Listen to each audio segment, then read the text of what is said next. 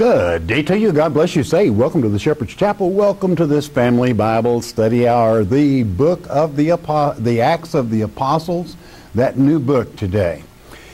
The apostles means one sent forth. That's ones that God sends forth with what? His message, His word.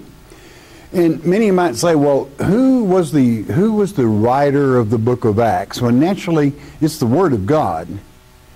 But the man who wrote it, his signature is all over it. There are a minimum of 60 words used by Luke alone. Why? He was a medical doctor. And, and being a physician and a medical doctor, Luke used many medical terms in the Greek. So it's, it, it uh, identifies him, though his name is not mentioned, he utilizes the word we several times. That's Luke included. All right. So um, and also, we notice that as we start this act, the book of the apostles, the Acts of the Apostles, it takes off where the book, the Gospel of Luke, leaves off. You know, the crucifixion, the trial, and the very words that he utilized in the book of Luke, opening it, he, he, he utilizes here. The chapters 1 through 8 basically has to do with Peter and, um, and others as they would teach to Israel. And from 9 to the end, it's Paul's three uh, phase or threefold ministry in chapter 9 when he is brought to, to God's service, brought to the knees actually to serve God. Paul, you might know, Paul, before he was converted to Christianity, was a fantastic scholar. He knew the Old Testament inside and out. He knew more languages than anyone. He spoke different languages more than anyone, meaning the Aramaic, the Greek. He was his. Um, he was um, knew the Hellenist quite well, which means the Greek-speaking Hebrews. Okay, and um, from this would be from where Tim, Timothy would come, Timotheus, uh, the biblical name. So, uh, quite, quite um, a, a book, these acts. It tells you how to act, in other words, how you should act. So, as we find the organization of the church, let's, let's go with chapter 1, the great book of Acts, the Acts of the Apostles, and uh, we read the former um, treatise have I made, O Theophilus, of all that Jesus began both to do and teach. Luke is always inclusive. He was probably the better educated of all the apostles um, in that he was a medical doctor and was well educated.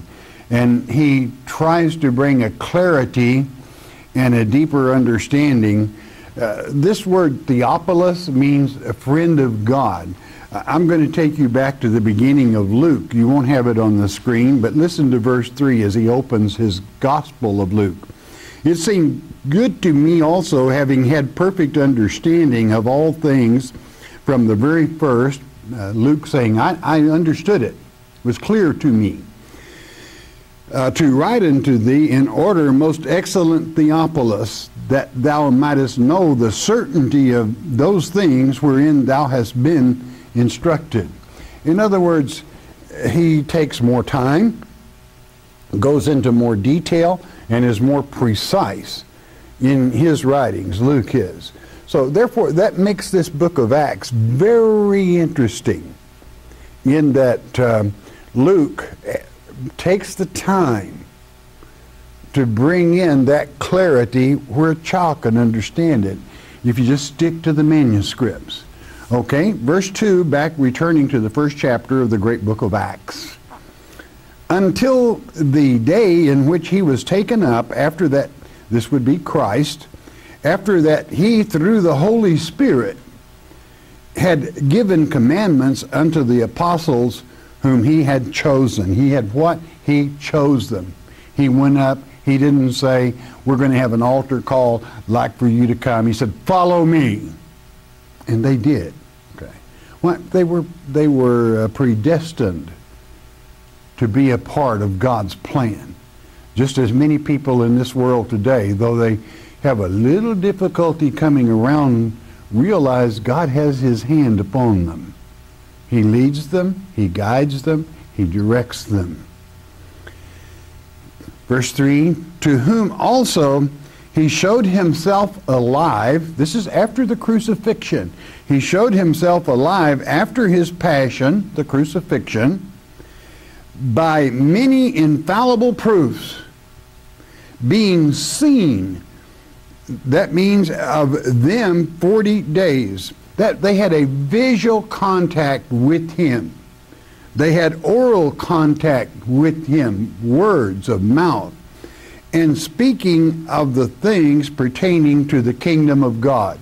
In other words, when Christ defeated death, when he rose from the dead, when he was resurrected, that is to say, then the kingdom of God was with us, has been with us, and always will be with us from now to the end. Uh, are you a part of it? You know, in knowing Him, Christianity is not a religion, it's a reality. And our Father loves His children that love Him enough to take the letter He has written us, wrote it to you. Have you read it?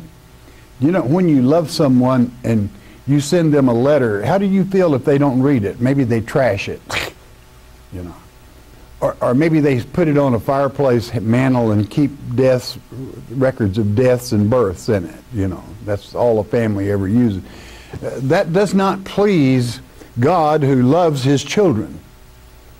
He sent the letter for our encouragement, our success. You want, you want to be successful? It's right here.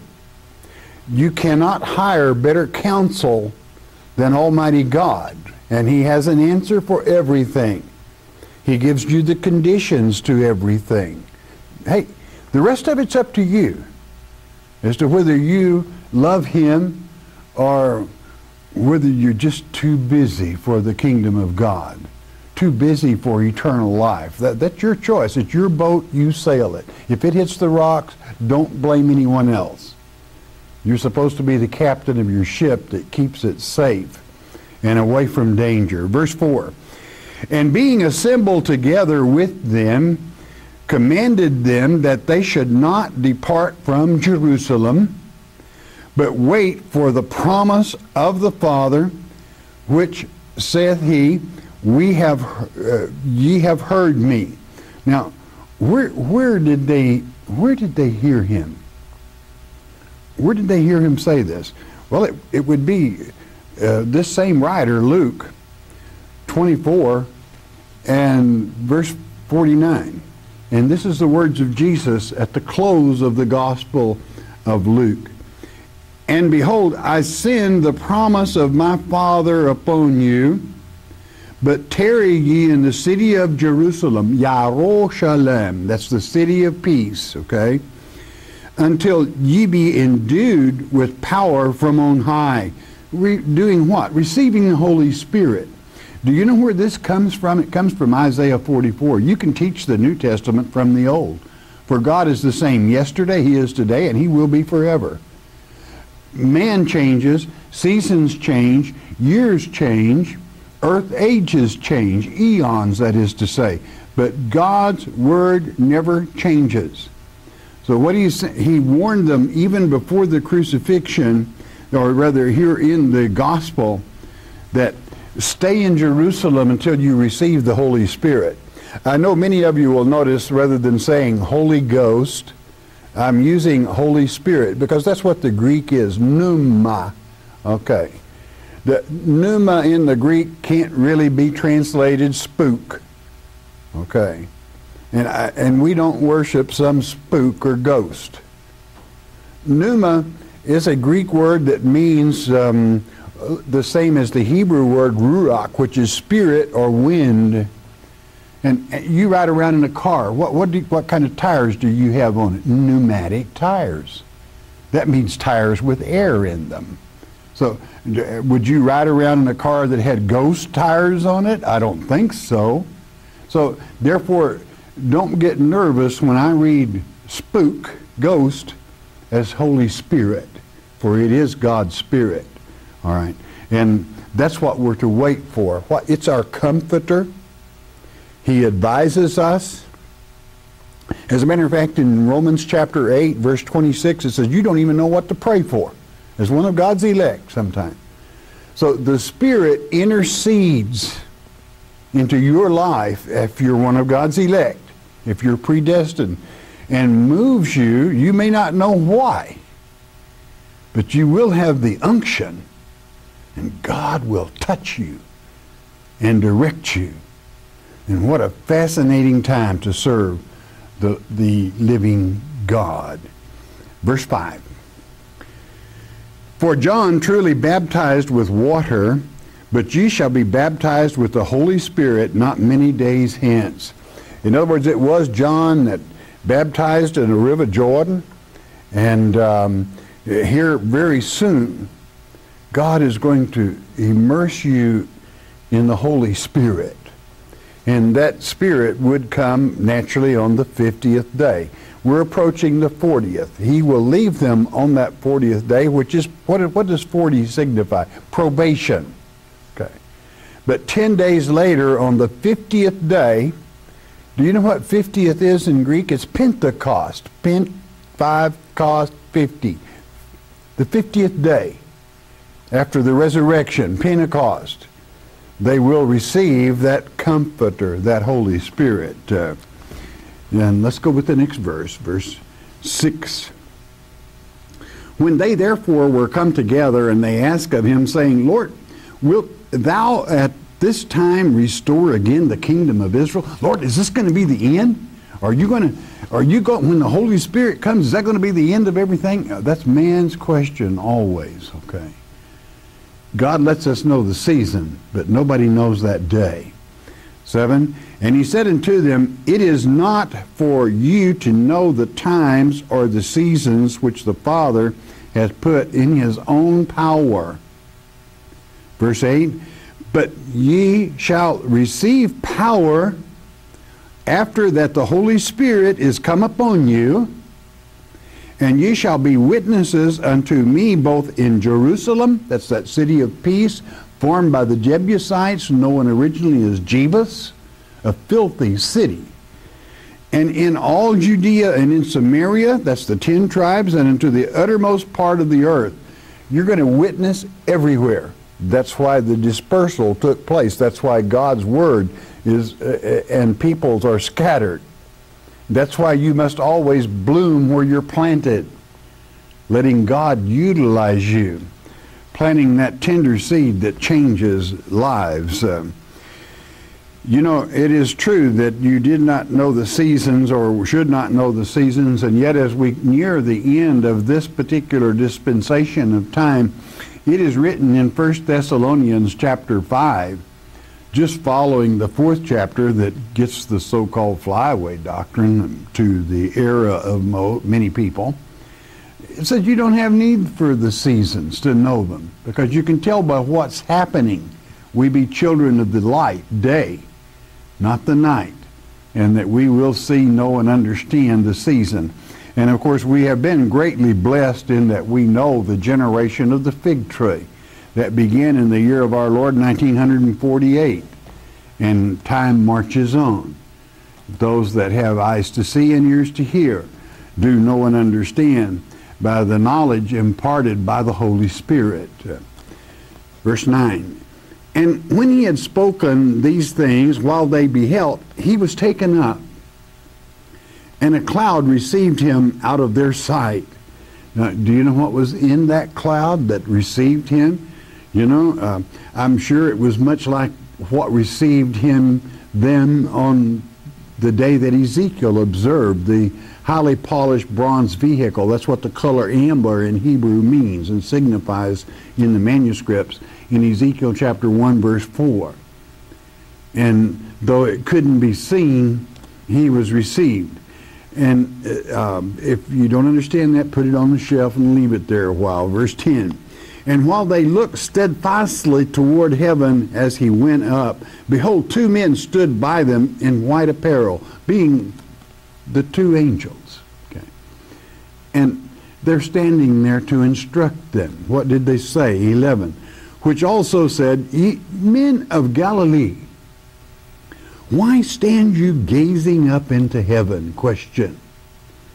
This same Jesus, which is taken up from you into heaven, shall so come in like manner as you have seen him go into heaven. Going to look just the same, going to be just the same, and quite frankly, it'll be the same geographical location that he will descend, that he will return to.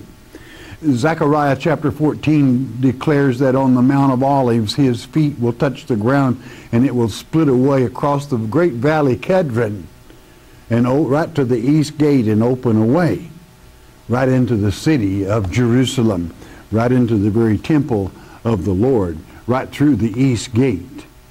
Verse 12. Then returned they unto Jerusalem from the mount they called Olivet. In other words, he ascended from the Mount of Olives. And it is declared it is the Mount of Olives that his feet will touch at the second advent, which is from Jerusalem a Sabbath day's journey. A Sabbath day's journey is about 2,000 English yards, uh, almost half a mile, no, and no more. And that's, that's an old rule, and, and so it is. Verse 13. And when they were come in, they went up into an upper room where abode both Peter and James and John and Andrew, Philip, Thomas, Bartholomew, and Matthew, James, the son of Alphaeus, and Simon Zelotes, that's to say the zealot, and Judas, the brother of James. Had them all gathered in there in the upper room. 14. These all continued with one accord in prayer and supplication with the women and Mary, the mother of Jesus, and with his brethren. They were there. Uh, th this is the beginning of the church. This is the beginning of that meeting. Do you know how many people were there? Let's read it. 15. And in those days, Peter stood up in the midst of the disciples and said, The number of the names together were about 120. That's all there were in the Christian church at that time. About 120. And, and uh, Peter, of course, it was Peter that Jesus said, uh, Do you know what Peter means? Uh, Cephas. I'll give it in two languages. It's rock. Okay. Jesus said, This is the rock on which I will build my church. And of course, Christ was the true rock. Uh, the Greek is an immovable rock. Cephas or Peter is movable or a chip off of that rock. And he is the entity that stood up and formed the first meeting, the first gathering. What transpired there? And um, this would be Christ's church. Verse uh, 16 Men and brethren, his, this is words. This scripture must needs have been fulfilled, which the Holy Spirit by the mouth of David spake before concerning Judas, which was guide to them that took Jesus. Uh, now, in other words, he betrayed Christ. And, and so it was. Well, where was this written? When was this written? Forewarned, forearranged. Well, it's really quite simple. It was in Psalms 41. We're going to turn there real quickly. You'll have it on the screen. Psalms 41, uh, verses 9 and 10. Verse 9 reads, Yea, mine own familiar friend in whom I trusted. Hey, he carried the money bag, Judas did. They trusted him with it. Which did eat of my bread, hath lifted up his heel against me. And so it is, he did. He, he, he um, uh, turned the Lord Jesus Christ, gave him the Judas kiss. Verse 10 but thou, O Lord, be merciful unto me and raise me up that I may requite them. In other words, the resurrection took care of that. Now, there is a strange thing about the death of, um, of Judas. it is written, and he repented and hanged himself. I could tell you he repented and they hanged him. Okay. Do you know why? It's pretty obvious. Um, history, for one thing, kind of indicates, but face reality. The Word of God is real. Listen to it. Verse 17. And he was numbered with us and had obtained part of this ministry. He was the, he was the banker. Okay? And, and uh, he was a part of it. But what, what is this is a warning to you, beloved. You in, in your organization, you want to be very careful who you allow in power. Okay. Verse 18. Now this man purchased a field with the reward of iniquity, sin. And falling headlong, he burst asunder in the midst, and all his bowels gushed out. Now, in all of history, have you ever heard of a man hanging himself and then being split open from Adam's apple to below the belly button and his insides falling right out on the ground? That would be one awesome hanging, okay? No, he had lots of help. They could not afford, inasmuch as he betrayed them to the chief priest. And then they planned his death, his murder. They could not have this man running loose, especially now that he had repented and taken that 30 pieces of silver and threw it down on that floor where it would ring in that marble building and that 30 pieces of silver would be gathered up. And just outside the potter's gate, that 30 pieces of silver would buy a plot, acres, few acres, where old pottery was cast out, old pots, junk. But the meaning being that Christ's blood that was shed and, and paid that 30 pieces of silver is he who can take our broken lives when you're broken, when you're down, when you're out. And Uh, the human body is referred to as a pot in Ecclesiastes chapter 12 where it says when you get old and you're really kind of, you know, your teeth don't grind quite as well and all of your passions just kind of fly away, you know. And I don't know, that's when you get about 105. and there you go and and and the birds don't sing as loud as they used to. You know, he said, "Ere the pot break, that's your body, and the silver cord part, instantly." The spirit returns to the Father, but this flesh goes back to dirt. Okay? That's what it is. So he has that potter's field. His blood bought that. That he can put you back together on forgiveness, He can give you hope. He can give you strength. He can give you guidance. That's what the price of that field bought us. 30 pieces of silver. Do you understand what that was the price of? A slave. And he did that for us. But Judas, in his iniquity, his sin, his greed, you know, he was very sorry when he saw when he observed that he had brought about the death of Christ, he was shook. He thought Christ would call down a band of angels, that the kingdom would become at that moment, and he would have a money bag instead of a little thing like this, a tub, okay? And he would be the banker of the kingdom of God.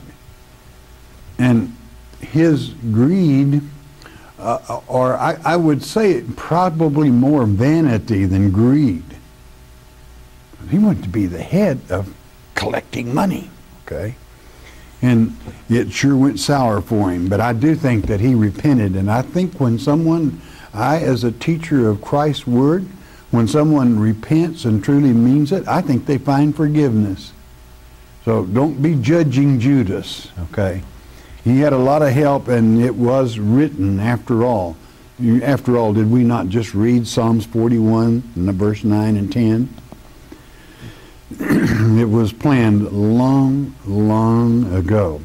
Then we can we continue on the next verse here in this 19. And it was known unto all the dwellers at Jerusalem, insomuch as that field is called in their proper tongue, Aceldama, that is to say, the field of blood. And so it is, and so it is to this day, that field of blood. Why? The price of blood bought it. And here we have so much attention that is paid to Yerushalayim.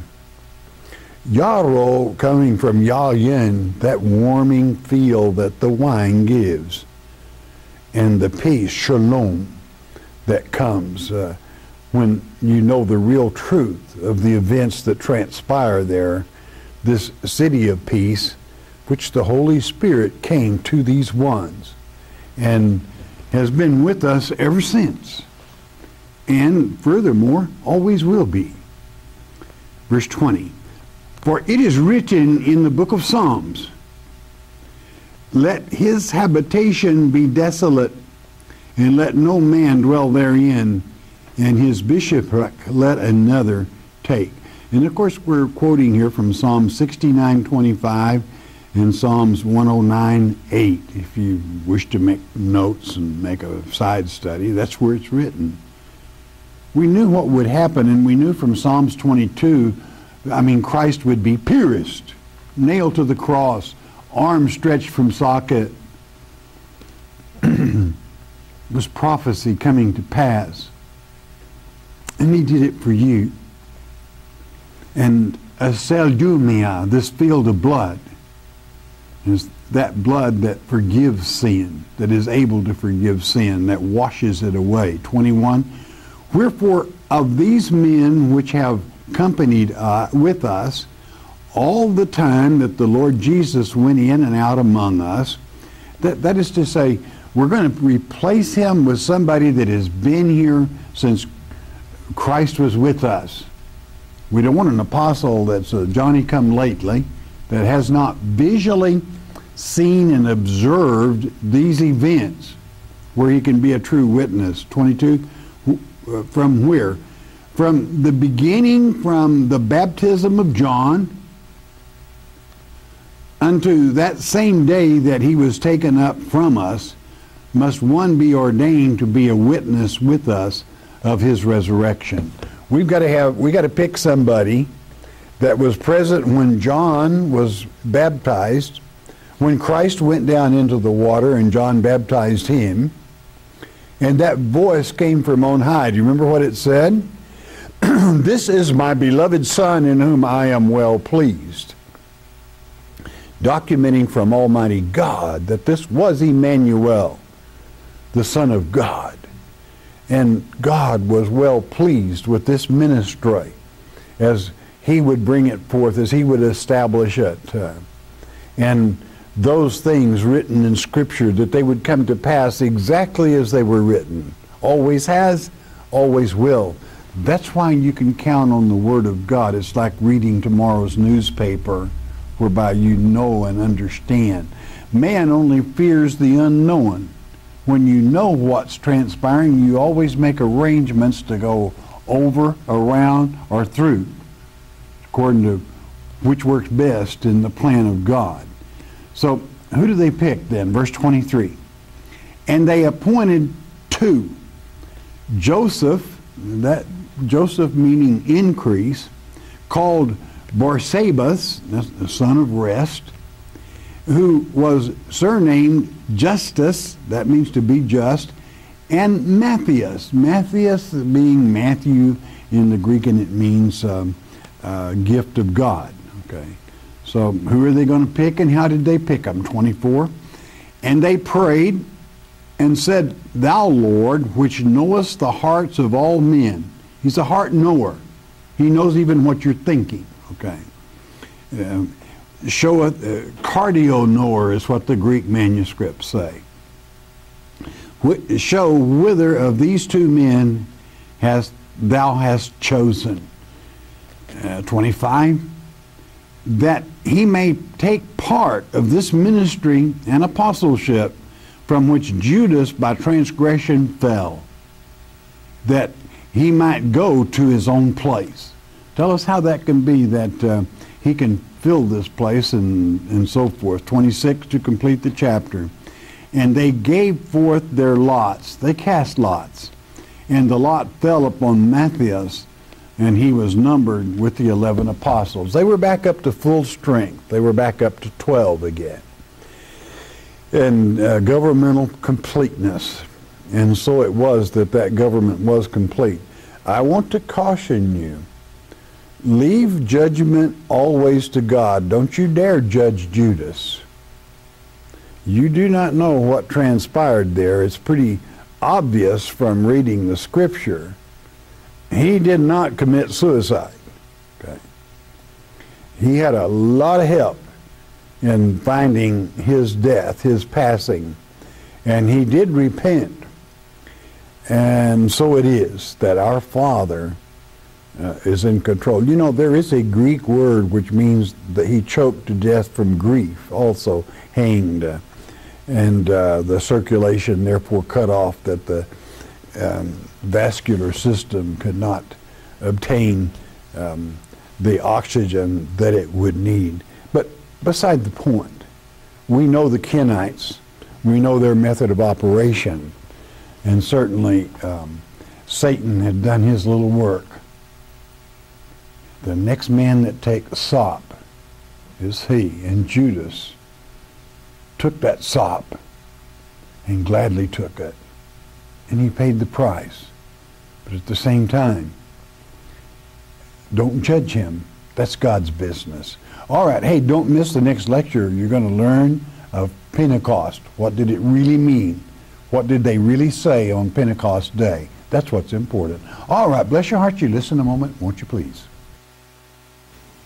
Ezra and Nehemiah.